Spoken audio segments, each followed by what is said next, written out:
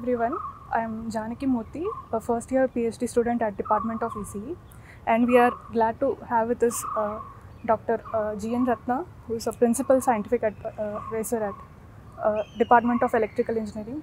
Uh, Dr. Rathna, please tell us about yourself. First of all, good morning to everybody. So, thanks for giving this opportunity. I'm uh, uh, Dr. Rathna from Electrical Engineering. I work in the field of embedded system and then uh, uh, real-time systems basically. So, that is my area of interest. Uh, we have some questions uh, on the occasion of Women's Day. Uh, so, let me get started with that. Fine. Uh, what does freedom mean to you? Yeah. Um, just to put the thing, that's what I was uh, thinking, uh, what to uh, tell about it, uh, because there are different ways of uh, finding it as a freedom, basically. So, one thing is uh, from the house friend or home level, uh, if a kid uh, says to mother, I have everything, why I have to study, okay, then you know that you have given the freedom, but whether to continue or you have to hold on to that. So that time you may have to put a end to the thing. So that is what we call it as uh, give the freedom wherever it is possible and then hold on to the thing and put a constraint. No, you have to come up in life, okay?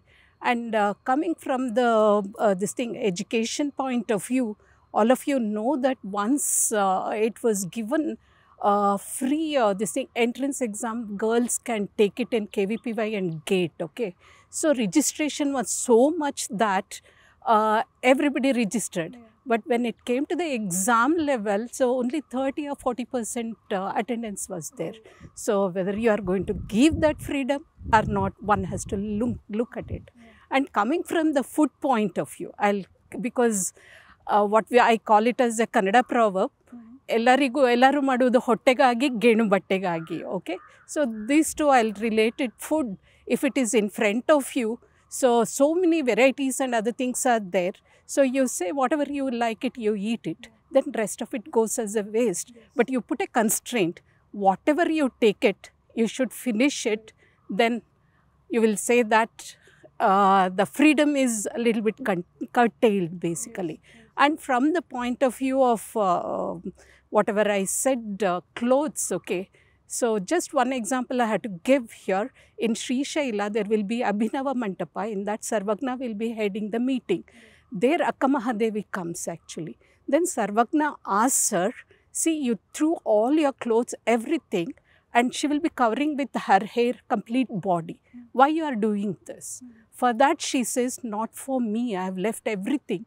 But for the others actually they were having a problem.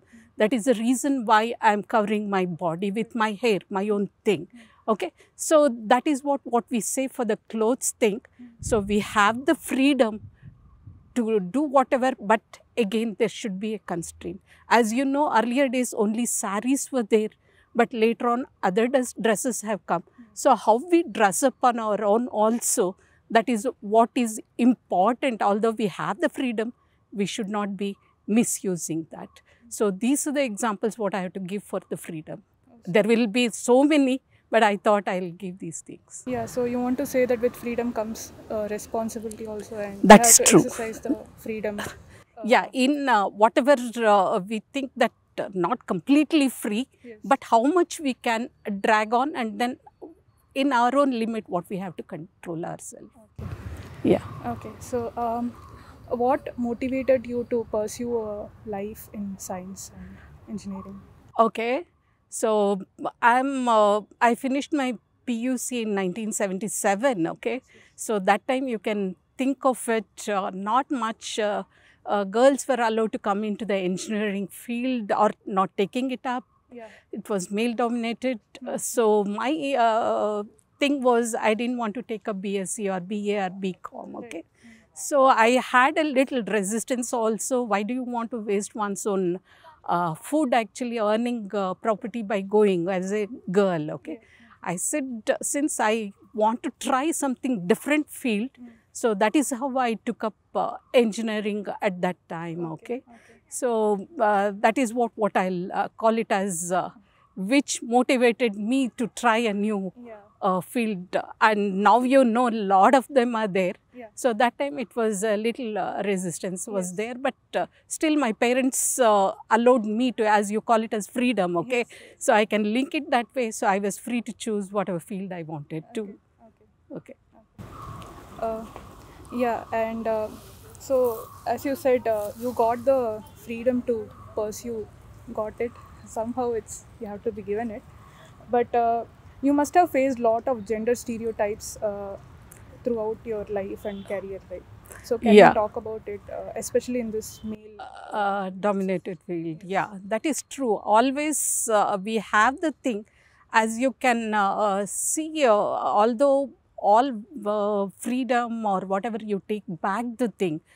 Uh, you will be seeing uh, Rani Lakshmi Bai, uh, Rani Jhansi Rani uh, uh, Lakshmi Bai, and then Kittur Rani Chennamma, B. Sarojini Na- Na- Naidu, or whatever you take, Kasturba, whatever. So you know that in the male dominated, how they were able to make their own way. Okay, so that is what uh, there will be a lot of resistances, and uh, in whatever work area, so far I have not faced anything. Okay, in the college, uh, when uh, there was an uh, interview, I think it was the Crompton Greaves which came for the placement. So they said who are uh, above distinction or something can sit for the uh, written test. Okay, that was the only company which came. So that time I went for the thing. I was the only one eligible girl candidate basically. When I went, they said no, it is not for uh, girls. So I was not like I'll put it as uh, Sudha Murthy to uh, retaliate and then do the thing. So we search for an alternative. So that is what one of the thing uh, it has been inculcated in us. Uh, if it is not one, look for a better one. We may. Uh, I, I need not have to go back now for uh, looking that. Right. So that way it is uh, almost, uh, I should say that uh, here completely supportive. There is no, no bias or whatever may be the thing. We have the, as you are talking about freedom to teach, freedom to do research and freedom to even I'll say the time management Right, basically. right. So we have 24 by 7 basically. Yeah. So we don't have restrictions. So wherever you want to have a, a freedom in going early or uh, coming back, so that also is uh, whatever uh, Right. is there in the workplace. Right. That's, that's very Yeah. nice. Yeah. Uh, so you all like going back to the previous point where you said uh, with freedom comes responsibility. You must be, you must have to take care of uh, both your career and your uh, life at home That's and true. with friends. So how do you make, uh, how do you balance all of it? Um, that uh, it is a very challenging one. Basically, everybody knows the thing. You cannot uh, uh, run away from uh, this thing, household or whatever. You can uh, think of uh, Rani Lakshmi Bai. She, she will be carrying her, her son on the back when she was in the battlefield Right, also. Okay, Right, yeah. so that is how uh, ladies have been brought in, or girls have been taught that how to manage both the ends. So, as you know, it is not a, uh uh bed of roses for everybody. It is that for matter, not girl or a boy or uh, whatever you think of it.